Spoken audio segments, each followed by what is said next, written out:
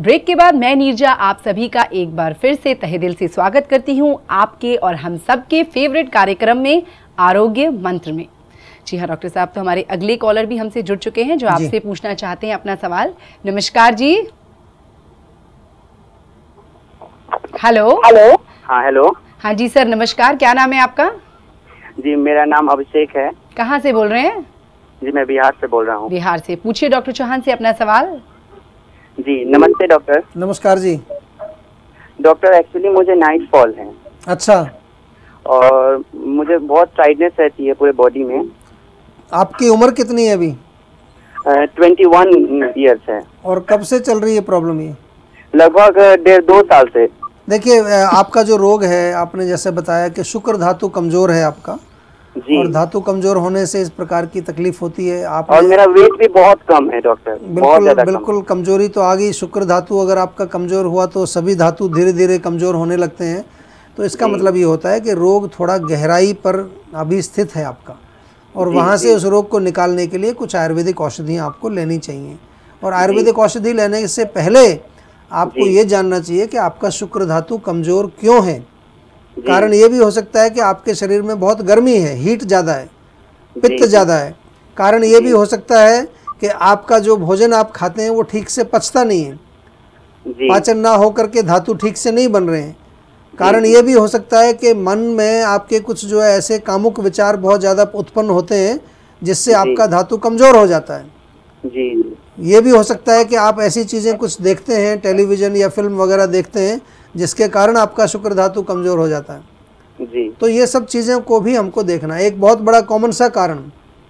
अगर आप गर्म चीज़ें खाते हैं बहुत ज़्यादा अगर बहुत ज़्यादा उष्ण चीज़ें या नशे वाली चीज़ों का सेवन जो करते हैं उनका भी शुक्र धातु कमज़ोर हो जाता है। डॉक्टर मैं कुछ भी नशा नहीं लेता हूँ कुछ कोई नहीं। कोई बात नहीं अच्छी बात है बहुत और लेना भी मत कभी बड़ी अच्छी बात है तो आपको मैंने थोड़ा सा बताया क्या क्या कारण इसके हो सकते हैं तो इसलिए थोड़ा सा एक परामर्श कर लीजिए हमारे डॉक्टर से बात कर लीजिए चाहे आपके शहर में या आपके कस्बे में कोई अच्छे वैद्य हैं अच्छे डॉक्टर हैं आयुर्वेद के उनसे मुलाकात आप कर लीजिए रोग को अच्छी तरह से समझ लीजिए और उसके पश्चात फिर उसकी चिकित्सा हो जाएगी। कोई बहुत भयंकर रोग नहीं है।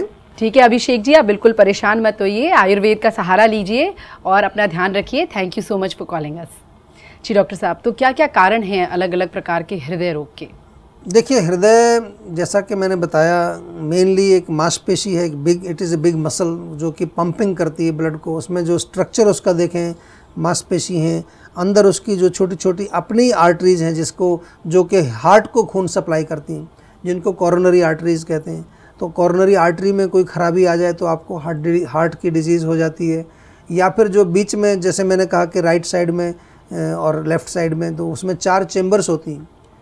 ऊपर जो है एट्रियम वेंट्रिकल, ऊपर फिर लेफ़्ट एट्रियम वेंट्रिकल इस तरह से, और उन दोनों के बीच में वॉल्व्स लगे होते हैं।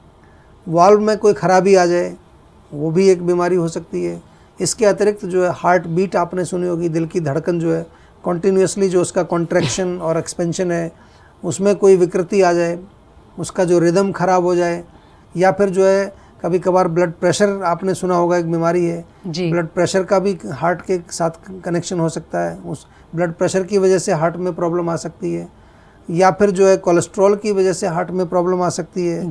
मानसिक तनाव की वजह से हार्ट में प्रॉब्लम आ सकती है। और कुछ ऐसी बीमारियाँ हैं जिनकी वजह से हार्ट में डिज़ीज़ आ जाती है।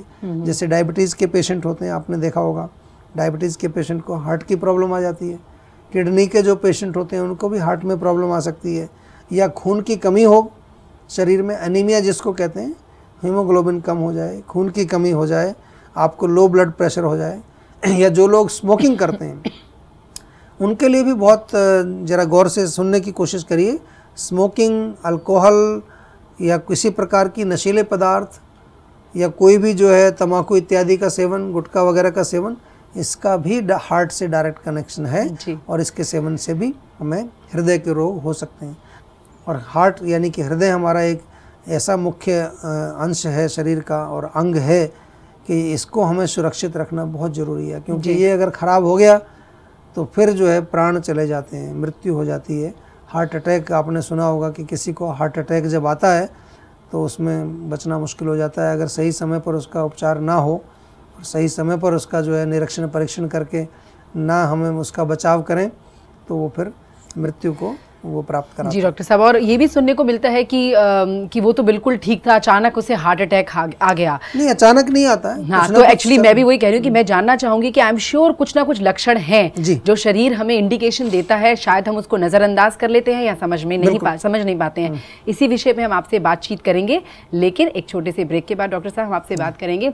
दोस्तों आप कहीं मत जाइएगा हम बहुत ही इंपॉर्टेंट विषय पे बात कर रहे हैं आपके हार्ट के बारे में डॉक्टर प्रताप चौहान से। अगर आपके मन में है कोई भी सवाल इस विषय को लेकर या किसी भी रोग को लेकर तो आप चिंता ना करें, क्योंकि हम आपके साथ हैं, हमारा नंबर आपके साथ है। वो है zero one two nine four zero four zero four zero four. Let's meet after this short break